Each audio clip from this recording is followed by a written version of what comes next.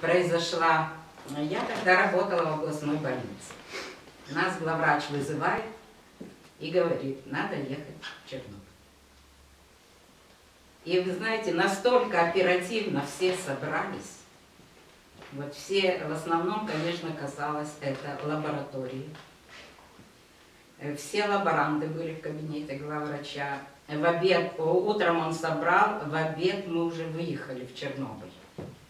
Три скорые помощи, которые были укомплектованы еще медиками по шесть человек. Мы уже в обед ехали в Чернобыль, не знали куда, но с собой везли все, и чтобы уколы сделать, и анализы сделать. Все у нас было с собой в машине. Мы приехали в Киев, Министерство здравоохранения, оттуда командировка на Чернобыль. Наши водители черновицкие дороги не знают. Блудили, помню, как говорят, как Иван Сусанин, не туда заехали, мы едем туда, а навстречу. Мы туда, а все оттуда. Приходилось скорой помощи на обочину съезжать, чтобы пропустить поток автобусов, машин, которые везли, это ж 2 мая, Эвакуация, эвакуация, пожалуйста. это ж первая неделя. Везли оттуда людей, на машинах даже и скот вывозился. И мы, когда приехали в Чернобыль, там уже, конечно, людей мало, нас три скорые помощи по разным местам рассортировали, мы не в одном месте были. И вот ехали автобусы с людьми, останавливали возле нас. Нас вот одну скорую помощь возле пустого фельдшерского пункта остановили, мы туда зашли. Мы там и уколы делали, анализы делали, все делали, так как все было с нами. И получалось такое, с автобуса сходят люди, мы их обследуем и срочно отправляем в больницу.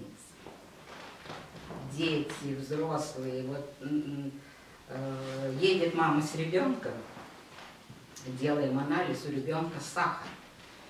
Вот перепуга. Ребенок уже получил болезнь. Мама говорит, да не было. Откуда? Срочно отправляли в больницу. То Такая... Ну, мы не работали как скорая помощь, вот как в городе вызывают на вызов. Получалось и по два дня мы могли на одной точке. Работали мы не по 6-8 часов, мы работали по 18 часов и по 20 часов. Мы не видели Чернобыля и Припяти. Мы сидели в кабинетах, где проводили обследование. К нам даже заводили дозометристы, которые с нами были. Они, с ним, они проверили радиацию, говорит, так, зайти без одежды. Буквально вот в трусах, в плавках заходили. Настолько на одежде была огромная радиация. Ну и на людях тоже. И мы там э, пробыли две недели.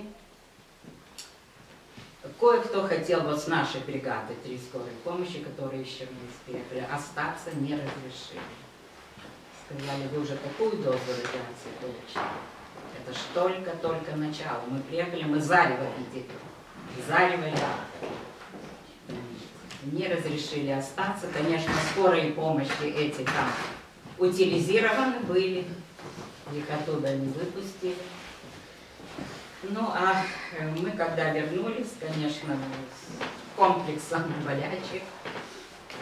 Но, вы знаете, я вот работала а, в областной, потом, когда я вышла на пенсию, я пошла работать в общественную организацию, которая у нас в 1998 году образовалась.